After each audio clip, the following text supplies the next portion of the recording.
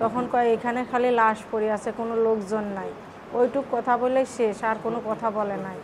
মোবাইলটা ওইখানে রাখে ওইখানে পড়েছিল।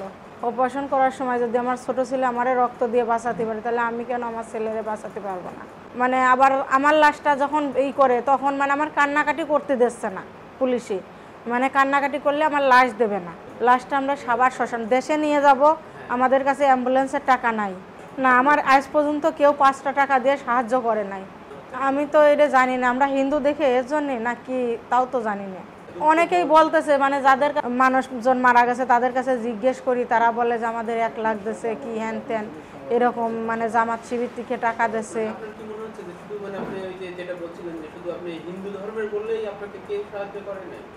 মনে হচ্ছে?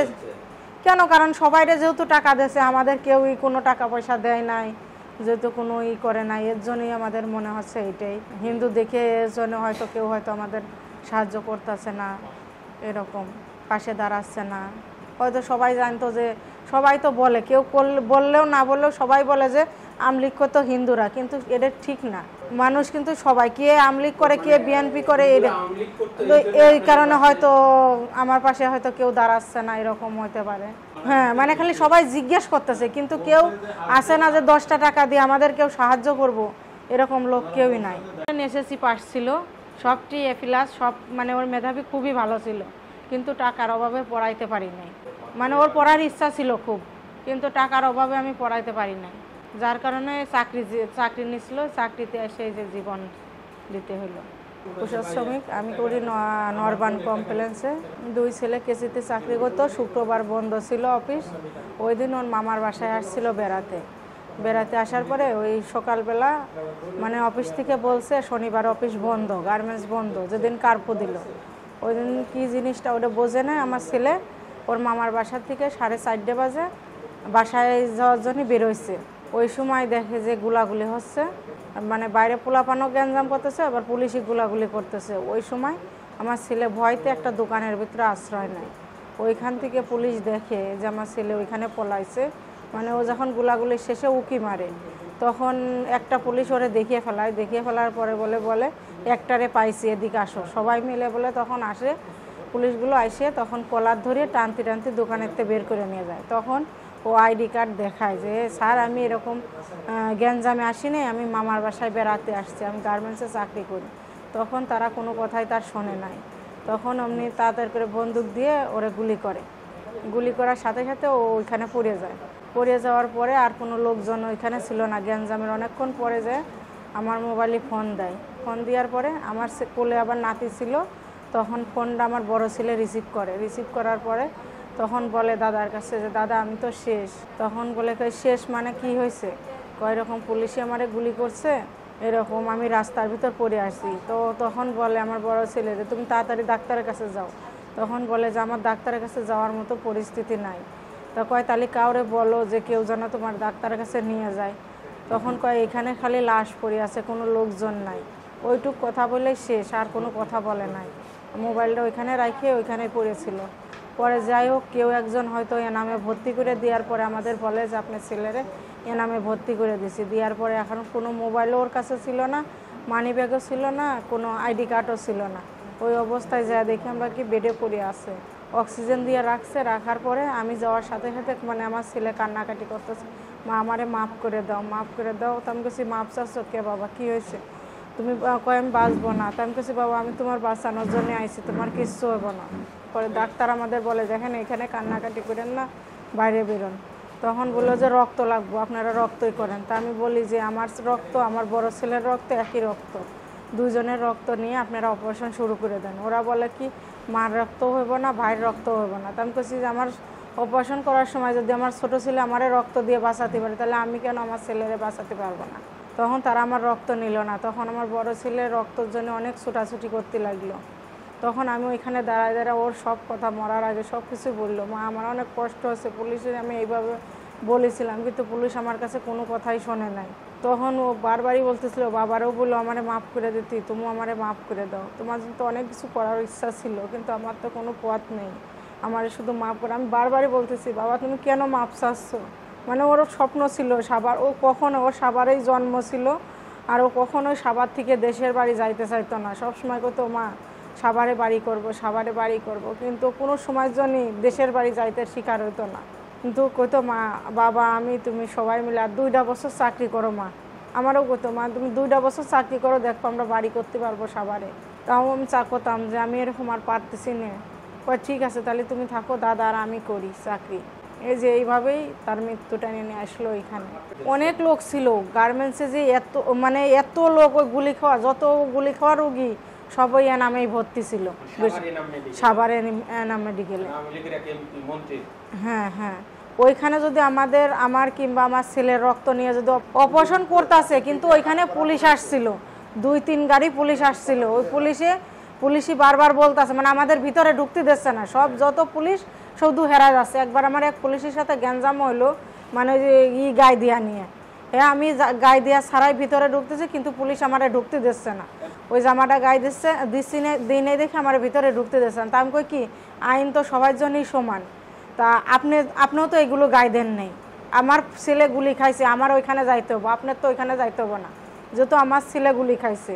আপনারা বারবার যাচ্ছেন, তাতে সমস্যা হচ্ছে না। আর আমি যাইতে গেলে আপনি বারবার এই জামাটা গায়ে দিতে বলতেছেন কোন কারণে? পরে হ্যান্ডকাপ পরা মানে যেগুলো একটু কথা বলতে পারতেছে, সেইগুলো মানে একজন তো মাথার কাছে থাকে পুলিশ আর একজন পায়ের কাছে বসে থাকে পুলিশ। মানে কোনো রুগীর সাথে মানুষজন দেখা করতে দেয় না। মানে গেলেও যে কোনো একজন, দুই তিনজন যাইতে দেয় না। তারপরে ওই যে একটু সুস্থ হচ্ছে, তাদের হ্যান্ডকাপ লাগাইয়ে মানে বেডের সাথে রেখে দিচ্ছে মানে পুলিশরা। মানে আবার আমার লাশটা যখন এই করে, তখন মানে আমার কান্নাকাটি করতে দিচ্ছে না পুলিশে মানে কান্নাকাটি করলে আমার লাশ দেবে না। তারা এইভাবে বলতেছে। যে যদি কান্নাকাটি করে তাহলে এখান থেকে লাশ দেবে না। মানে ভয় দেখাচ্ছে। পরে লাস্টে বাধ্য হয়ে মানে অনেক হ্যাগো ভয়তে আমার স্বামী আমার ভাই মানে আমি কান্নাকাটি করতেছিলাম দেখে আমারে অন্য জায়গায় রাখিয়ে আসলো। মানে তখন লাশটা নেওয়ার জন্য অনেক ই করতেছিল। পরে এনামের বিল টিল করলে অনেক টাকা পয়সা সেইগুলো দিতে মানে ধার দেনা করে অনেক ওই জায়গা বিল করেছিল তিন লাখ মতো মনে হয়। আর ওষুধ আমার পাঁচ হাজার টাকার মানে প্রথম যে অবস্থা ছিল বিকাশ বন্ধ আপনার ব্যাংক বন্ধ কোনো কায়দায় কেরুর কাছ থেকে টাকা নিতে পারতেছিলাম না। তখন মানে আমি লাভের উপরেও অনেক টাকা নিছি। মানে সুদের উপরে। মানে ওই সময় তো আমার এমনিতেও আমার কোনো টাকা পয়সা নাই ব্যাংক ব্যালেন্স নাই। মানে সীমিত আয় আমরা ধরেন গার্মেন্টসে কয়টা টাকায় হয়? ওভার টাইম করলে টাকা আসে নাইলে তো আর টাকা আসে না। তখন ওই সময় মানে লাভের উপরে আমি কিছু টাকা নিয়েছি নিয়ে ওষুধ কিনতেছি। ওই সময় আমার বলে, পাঁচ হাজার টাকা একটা মেশিনের দাম। আমি কই কি, দেখেন, আমার কাছে তখন ছিল মাত্র দুই হাজার টাকা। দুই হাজার টাকা নিয়ে আমি বাসার থেকে বেরোইছি এখন ওই জায়গা ভর্তির জন্যই আঠারোশো টাকা কাটিয়ে নেছে তাহলে আমার কাছে থাকে দুইশো টাকা। ওই দুশো টাকা নিয়ে এখন ভর্তি করতে তারা দশ হাজার টাকা চাইছে। তিন তিন লাখ টাকার যে বিলের কথা বলছিলেন সে টাকা কি হাসপাতালে দিতে হয়েছে আপনাদের? হ্যাঁ হ্যাঁ ওইখানে দেওয়া লাগছে। ওষুধ কিনেছি প্রতিদিন আপনার বত্রিশ হাজার। মিলিয়ে কত টাকা খরচ হয়েছে সাড়ে চার লাখ টাকা মতো খরচ হয়েছে। হ্যাঁ সাড়ে চার লাখ টাকা। না তবু আমার সন্তানকে বাঁচাতে পারিনি। কিন্তু আমি এখনও যে পরিমাণে ঋণ আছি মানে পাইছি ধরেন বারো হাজার টাকা স্যালারি। এই মাসে আমি বারো হাজার টাকা স্যালারি পাইছি মানে অফিসের কাজে দৌড়াদৌড়ি ছেলের জন্য অনেক মানে অসুস্থর কারণে আমি অফিস ডিউটি করা পারিনি। যার কারণে আমি বিশ তারিখ কী করছে তেইশ তারিখে ধরেন আমাদের লাশ দিছে। তারিখে মানে হ্যাঁ প্রতিদিন আপনার আইসিউতে রাখছে মানে সাপোর্টিং রাখছিল তো। প্রতিদিন তিরিশ হাজার টাকা তো আপনার সাপোর্টিং বিলই দিদি এই যে মা- মারা যাওয়ার পরে মানে লাস্টে আমরা সাবার শ্মশান দেশে নিয়ে যাব। আমাদের কাছে অ্যাম্বুলেন্সের টাকা নাই। যে লাশটা নিয়ে যাব বা জায়গায় জায়গায় পুলিশ রয়েছে লাশ ধরবো।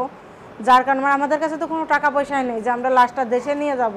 সেরকম কোনো পরিস্থিতি নেই। তারপরেও আমি আসল পাইতে এ নামের সামনে অনেকের কাছে টাকা হাত পাতেছি। কেউ দশ টাকা কেউ পাঁচ টাকা দিচ্ছে। দাঁড়িয়ে রাস্তা দ্বারা আমি হ্যাঁ মানে আমি যে টাকা লাশটা নিয়ে যাব আমার সেরকম কোনো পরিস্থিতি ছিল না।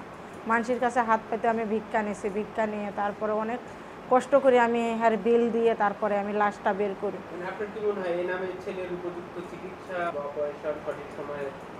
না ওরা যদি সঠিক সময় যে সময় আমার ছেলেটা ভর্তি হয়েছিল ওই সময় যদি ই হইতো তাহলে ওই বারোশটা আর কি পেটের ভিতরে এতটা ধরেন গুলিবিদ্ধ হয়ে পড়ে রয়েছে। পাঁচটা পঞ্চান্ন সময় ধরেন গুলি খাইছে। তারপরে ধরেন আপনার একটা বাজে আপনার অপারেশন রুমে নিয়ে গেছে।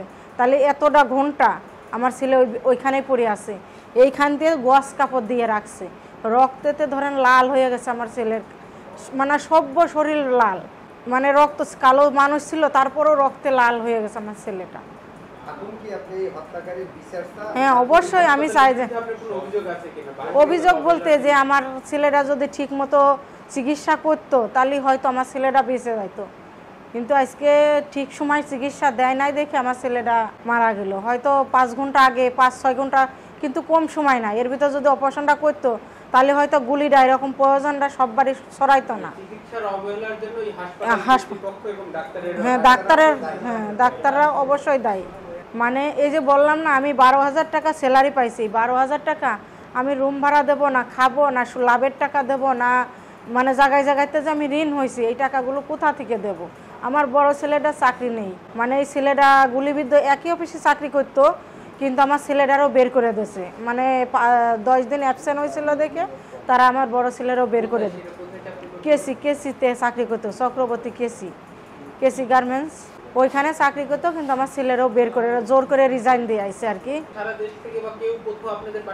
না না মানে কেউ মানে সবাই জিজ্ঞেস করে ফোন দিয়ে জিজ্ঞেস করে মানে কেউ বলে অন্য মানে এক এক জায়গাতে কেউ গোয়েন্দা বিভাগ কেউ বা কি মানে এরকম জায়গায় জায়গা থেকে ফোন দেয় কিন্তু কেউ আমাদের সাথে সেরকম সামনাসামনি যা সাক্ষাৎ করে নাই কিন্তু খালি এই তাসলিমা পাই প্রথম আমাদের কাছে গেছে না এই গেছে অনেক দিন হলো মানে আমার ছেলে মারা যাওয়ার মনে হয় পনেরো বিশ দিন পরে গেছে। মানে হ্যাঁ তাসলি বাপা গেছে আর এই ভাইয়ে গেছে। যাওয়ার পরে নুর ভাই গেছে। যাওয়ার পরে আমাদের এই প্রেস ক্লাবে নিয়ে আসছিল। দুই দিন আমি প্রেস ক্লাবে আসছি। আসার পরে আর আজকে এইখানে আসছি। তিন দিন আসলাম।